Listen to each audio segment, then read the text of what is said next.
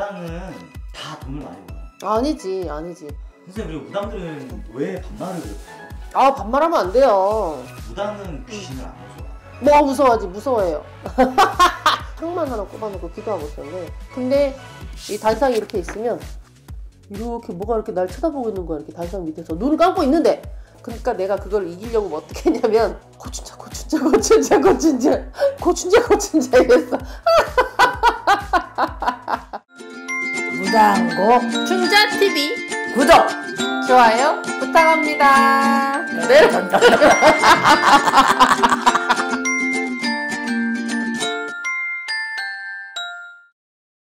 백호신곡 이다영의 물어 무다 들어와 들어와 들어와 들어와.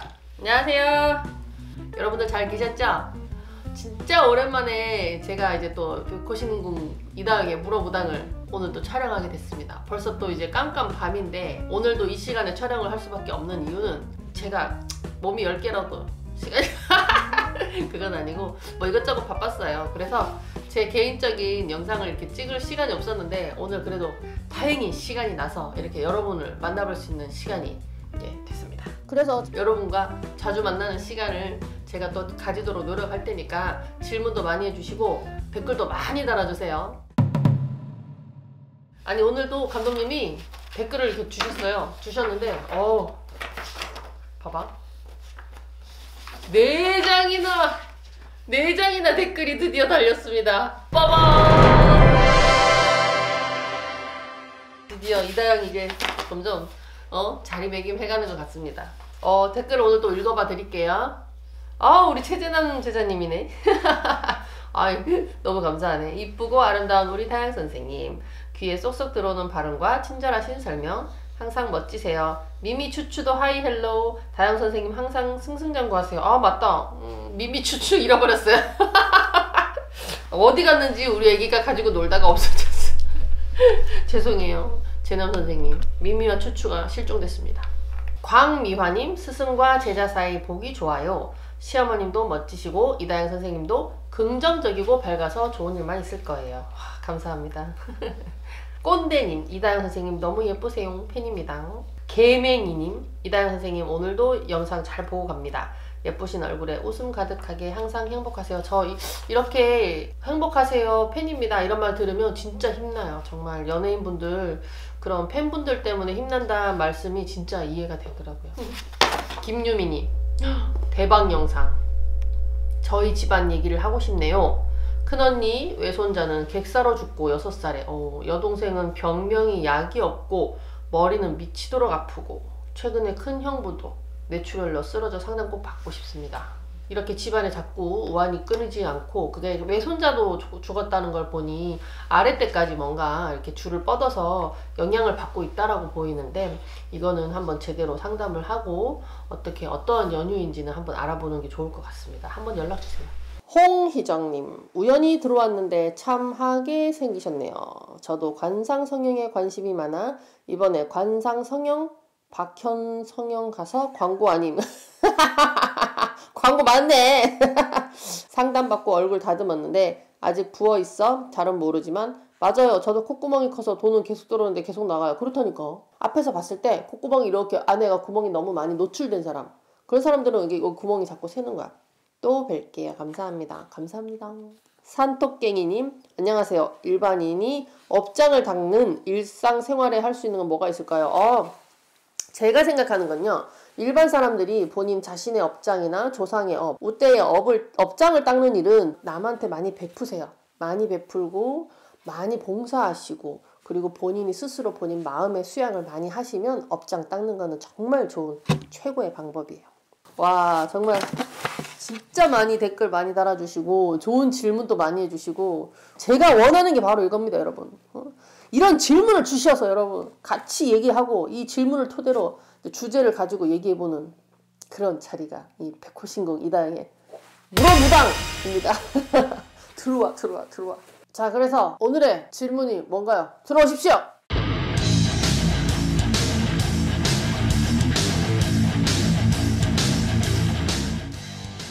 어 당연하지! 말이라고 해. 그러니까 옛날에 어른들이 그렇게 말씀하셨어요. 무당은 장군님이 남편이고 뭐 황선자님이 아버지고 삼신 할머니가 세준 할머니가 어머니고 동자 동녀가 아들 딸이고 맞습니다. 맞지만 인간도 결혼을 하고 자식을 번성해야 되지 않습니까? 우리 조상님들도 부부가 돼 있고 자식이 있으니까 번성을 했고 후손이 있는 거잖아요. 그리고 그 여러분 요번에 진짜 저희가 산호라면 거기도 우리 애기랑 다 나왔잖아요. 제가 아 우리 애기 공개 안 하려고 했는데 어쩔 수 없이 그냥 그 방송에 나가다 보니까 애기랑 다 나왔는데 우리 남편도 나오고 애기도 나오고. 저희도 무당도 일반 사람하고 똑같아요. 신명을 모시고 어른들의 이제 말씀을 하명 받아서 그 어른들의 이제 하자 하시는 대로 하는 몸주의 신이 계시지만 우리도 인간하고 똑같은 일상적인 생활을 합니다. 백호 신고 이다영의 물어! 무다 들어와 들어와 들어와 들어와. 아니지 아니지. 근데 진짜 제, 제 얘기만 드리면 저도 진짜 처음엔 정말 어려웠어요. 그래서 처음에 신을 모실 때 신당을 지금 뭔가 모실 수 있는 상황이 아니었어요. 신장이 어른들도 모르고 그리고 저도 뭔가 이렇게 신당을 모시거나 뭔가 이렇게 이끌어 나갈 수 있는 상황이 아니었고 근데 어머니께서 다행, 다행히도 그냥 저를 이렇게 손을 잡아주셔서 제가 어머니 집에 있으면서 화면 적당에서 점을 보고 그렇게 점을 보면 제가 이제 5만 원을 받으면 그걸로 모아서 어, 네이버에다가 광고하고 네이버 광고하면 엄청 비쌌어. 그 그때 당시 나는 한 달 광고하면은 몇 달 못하고 그 다음에 또 광고비 모아서 또 광고하고 그래서 손님 보고 내 걸로 이렇게 모아서 조그만한 종이 박스에 모으고 그렇게 살았어요. 몇 년을 몇 년을 정말. 그리고 그 땅에 어머니 일하러 가시면 이제 저를 데리고 나가주세요. 그러면서 제가 조금씩 더 일당도 좀 더 많이 댕기고 자리도 잡고 조금 이제 가정적인 생활이나 제 일상적인 생활이나 천천 천천히 늘어나는 거지. 그 세월이 없이 그냥 뭐 신 받았으니까 딱 앉아서 손님 보면 뭐 몇 마디 해주고 뭐 5만 원, 10만 원. 아, 그거 아니에요 여러분. 진짜로 무당된다고 갑자기 뚝딱 부자 되는 거 절대 아닙니다. 뭐 무서워하지? 무서워해요. 아 귀신 무섭습니다. 아 귀신 왜 안 무서워? 귀신 무섭지. 그래서 제가 이게 좀 에피소드인데 아 그때가 중학생 때인가 국민학교 때인가 그때쯤인데 저희 집이 집 본체가 여기 있으면 마당이 조금 있고 현관이 좀 멀리 있었어. 근데 이제 어, 밖에서 친구들이 다영아 놀자, 다영아 뭐 이렇게 하면 들리는 정도예요. 근데 동생이랑 저랑 집에 있는데 밖에서 누가 내 이름을 부르면서 놀자 그러는 거야. 아 지금 생각해도 약간 소름 돋아. 약간 이렇게 뭐 다영아 엄마 한번 이 얘기 한 적 있죠. 끝을 흐린다고 진짜 그렇게 놀자 뭐 이렇게. 그래 그런 거야 그래 누구지? 내가 이렇게 나갔어 애긴데. 내가 그때 어렸을 때 나갔는데 아무도 없는 거야 밖에. 이렇게 밖에 봤는데. 어? 아무도 없네 이러고 들어왔어. 아 또 누가 장난치나. 집에만 들으면 와, 와 이게 와 이렇게 하는 거야. 어어 소름 돋아. 어어 지금 소름 돋았어.